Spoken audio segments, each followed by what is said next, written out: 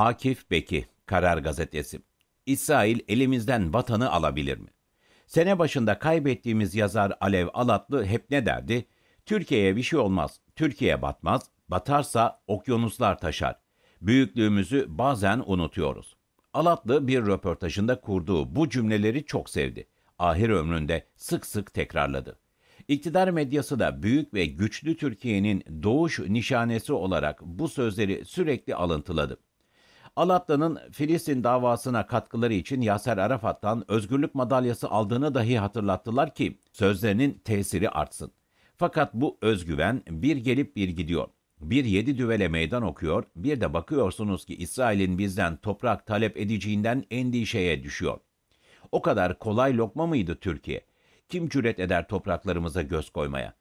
Artık uzaya da çıkan, ayak seslerini duyunca Batılıların eyvah çılgın Türkler geliyor diye kaçıştığı, dünya uzay cemiyetindeki mevkisi yükselen, nükleer güç sahibi ülkeler arasına katılan, Almanya'nın kıskandığı, bölgesel süper güç haline gelen, oyun bozan ve kuran, kendi yüzyılını bile başlatan büyük Türkiye, bir avuç Siyonisten mi korkacak?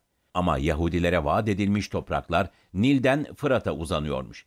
Kimse göze alamaz derken Alatlı bilmiyor muydu bunu? Yeni mi duyuldu? Meğer sandığımız kadar da büyük değilmişiz. Yoksa İsrail mi yedi düvel batının topundan daha büyük? Ne diyor bu vehmi yayanlar bize?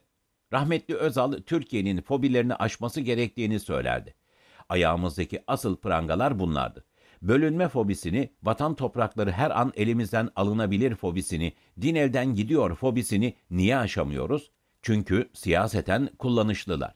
Çünkü kalabalıklarını ancak korkutarak bir arada tutan ve yönetenler, fobilerin aşılmasını istemez.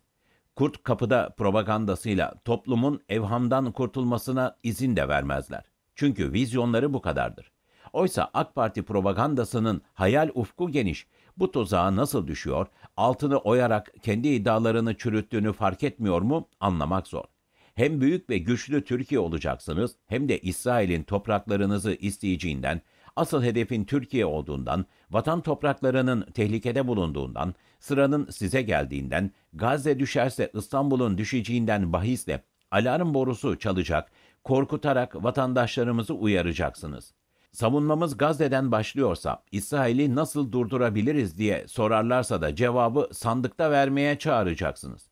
Bu pek topraklarınızı asker olarak işgale hazırlanan bir düşmana verilecek cevaba benzemiyor. Özellikle de bu düşmanla doğrudan ticaretinizi aylar sonra o da tepkiler üzerine kesip dolaylı yollardan devam ettiriyorsanız ve hatta kardeş Azerbaycan'daki savunma fuarına birlikte yerli ve milli sponsor olmakla sorun görmüyorsanız bir ihtimal daha var.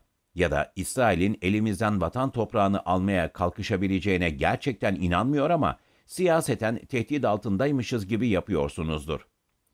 Bahçeli'nin siyaseten dediklerine bir de buradan bakın. Bahçeli'nin Özgür Özel'e birbirimizi kırmıyoruz inşallah. Üzülme bazen siyaseten söylemememiz gerekenler oluyor demesi tartışılıyor. Siyasetin iyice tiyatroya döndüğünün itirafıdır gibi eleştiriler de aldı. Bence sokağa mesaj bakımından doğru ve iyi oldu. Belki tam da bunu amaçladı Bahçeli. Kavgada söylenmeyecek zehir zemberek lafların dengelenmesi gerektiğini düşündü. O lafların söylendiği yerde kalmadığını bilmiyor, görmüyor olamaz. Hedef olan muhataplar açısından o tür sözlerin doğurduğu sonuçlar ortada. Sokağa inen ve en son Sinan Ateş'te kan dökülene kadar da durmayan bir siyasi şiddet dalgası yaşanmadı mı? Daha yeni öldürülen Sinan Ateş'in ablası hedef gösterildiği gün mahkeme kapısında saldırıya uğradı. Kılıçdaroğlu çubukta neredeyse yakılıyordu. Canını zor kurtardığı halde suçu kendinde aramaya davet edildiğini ve saldırganların nasıl siyaseten sahiplenildiğini de hatırdan çıkarmayın. Biz dolduruyoruz ama siz sokakta patlamayın. Düşmanca sözlerimizi ciddiye bindirmeyin. Birbirinize kin ve düşmanlığa tahrik olmayın. Göstermelik kavgalarımıza kapılıp kimseye saldırmaya kalkmayın mesajını onun için önemsiyorum. Umarım arkası gelir. Yetmez ama evet.